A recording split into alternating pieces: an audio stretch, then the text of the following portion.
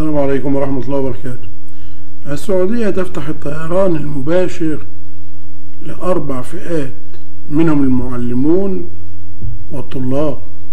كشف عادل حنفي نائب رئيس الاتحاد العام للمصريين بالسعودية قرار سعودي جديد بشأن فتح الطيران المباشر والسفر إلى المملكة العربية السعودية.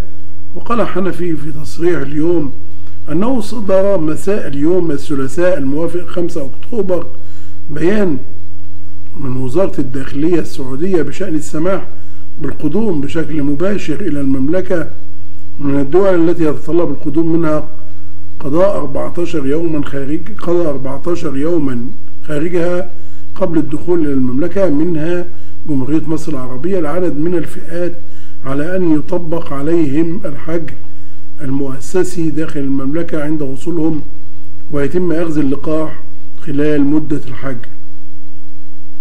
وأضاف حنفي أن هذه الفئات هي أعضاء هيئة التدريس ومن في حكمهم من في الجامعات والكليات والمعاهد.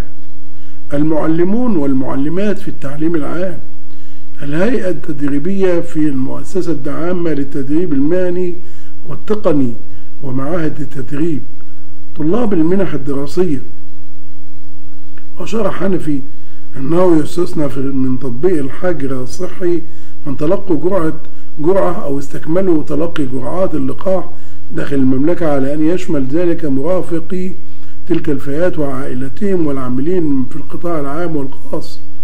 وتبع حنفي كما شمل بيان وزارة الداخلية السعودية رفع تعليق سفر المواطنين السعوديين الذين تلقى أعمارهم من 18 عام إلى مملكة البحرين مع تطبيق الاشتراطات الصحية المعلنة بسفر المواطنين السعوديين سابقا مع ضرورة الالتزام بالإجراءات الاحترازية والتدابير الوقائية وعدم التهاون في تطبيق الاشتراطات الصحية.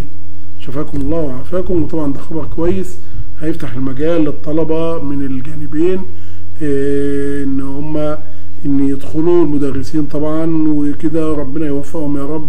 شكرا لكم. السلام عليكم ورحمة الله وبركاته.